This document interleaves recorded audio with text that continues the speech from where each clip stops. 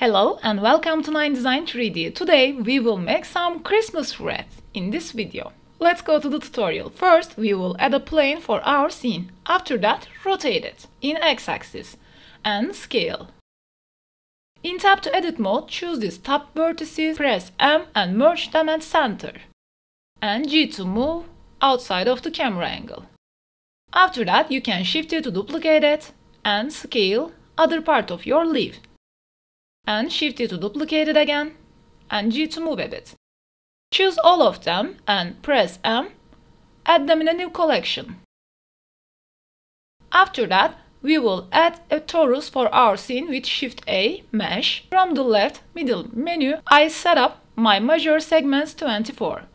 Now you can right click and Shade Smooth. In tab to Edit mode, select All with A and Alt S to scale. Under the particle system, press plus icon and choose Hair Check Advanced. Decrease your hair length. Check your rotation and set it normal. Under the render, render as collection and instance collection, choose your leaves collection. You can scale them up and scale your randomness. We have to increase them a bit. With the randomize, you can set it randomizing for this and with the under the emission number you can increase your number for this. When you want you can make some changes on your collection items. If it's not enough for you you can set up your number high. And with the randomizing again as you see you can set it up how you want.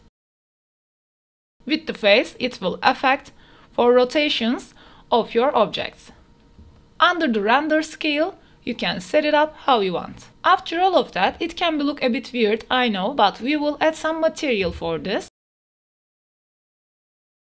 Press new icon. I will add a dark green material for this only a color. Add, set up your base color and decrease your lightness.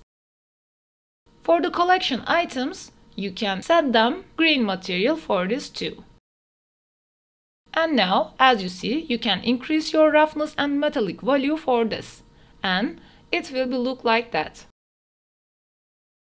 If it's not enough for you, you can increase your numbers or set up your hair length again. Now let's add some little UV spherelets for this. You can set up your segments and scale it. Right click Shade Smooth. Add a material for this, we will add some emission. Which color you want, you can type your material name. From the surface, change Principled BSDF to emission, power up your strength, and give a color for this.